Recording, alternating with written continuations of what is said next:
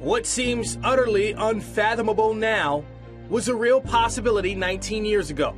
Gregg Popovich was on the verge of being fired early in the 1999 lockout shortened season. Pop was in just his third year on the Spurs bench and didn't possess nearly the cachet he does now. So in San Antonio, one of the favorites to win the West in 1999, was floundering early that year, the rumors of a coaching change became very real.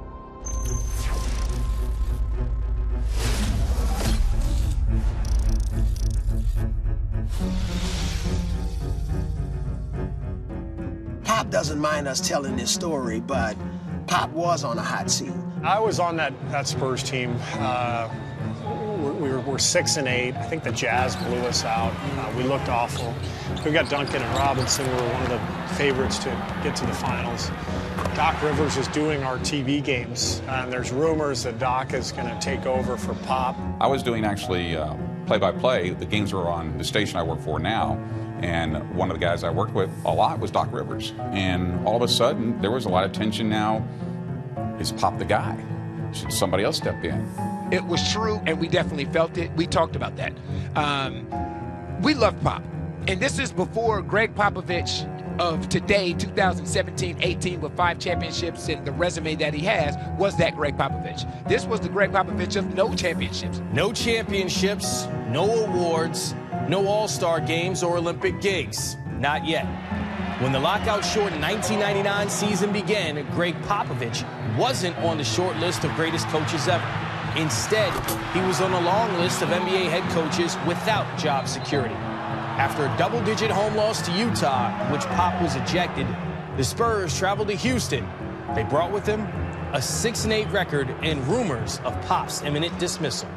I coached overseas for 17 years, and uh, I came to the Spurs really as a guest uh, with uh, R.C. Buford and Pop, and I remember him coming to me and saying, you know, we started out quite slow. I'm not too sure, you know, what my future is going to be here. I want you to know that you will be okay. I will make sure that you are okay. But what I remember so clearly was Pop was just so stable and comfortable in his own shoes, and he wasn't panicking. He was just urging us to continue to work on our weaknesses and that we'd get there. Pop may not have been panicked, but his players decided to take action, calling a team meeting in Houston that may have saved their head coach's Hall of Fame career. The meeting was called by Avery Johnson. All the coaches got off the bus. All the, the staff got off the bus. The medical staff got off the bus. Avery Johnson called the meeting, and he led the meeting. And, you know, he talked about what we needed to do. Pop rescued my career when I was playing with the Golden State Warriors, when he was an assistant coach under Don Nelson, and gave me an opportunity to come to San Antonio and keep my career going. And it just was, you know, out of a sense of loyalty to Pop. And I wanted to make sure he was taken care of and let the team know how passionate I was about help saving his career. The Spurs dominated the Rockets in a 17-point win and effectively began the run to their first championship.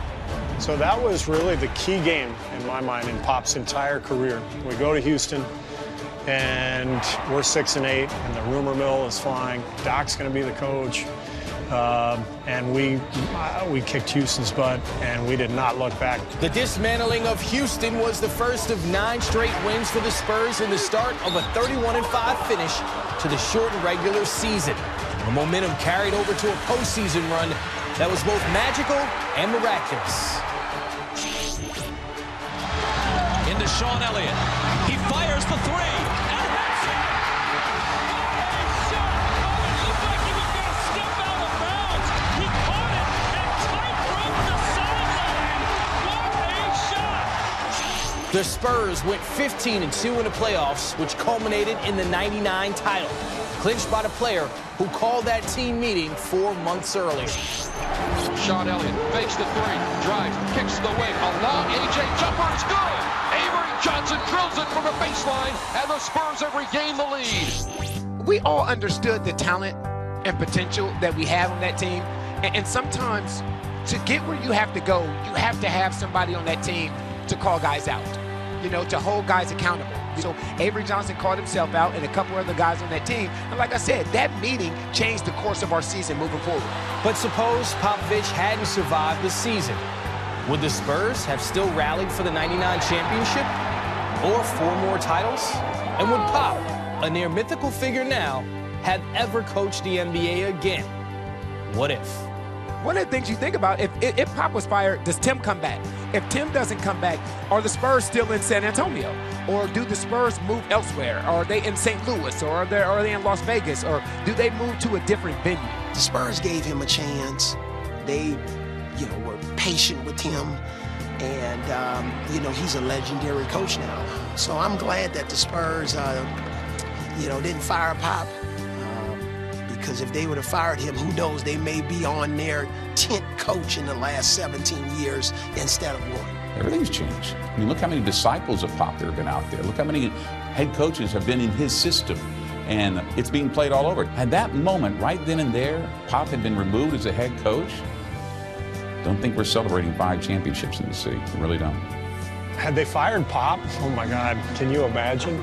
I'm pretty sure he would have resurfaced and done pretty well. But Pop himself will tell you the whole key to his success was Tim and David, right? When you're establishing yourself as a coach, I can vouch for this right now. To be able to establish myself as a coach with Steph Curry and Draymond, Andre, Klay, KD, that's a different deal. Now I can become who I am while winning and while working with talent. Well, that was Pop's um, evolution as a coach. Duncan, Robinson, Popovich.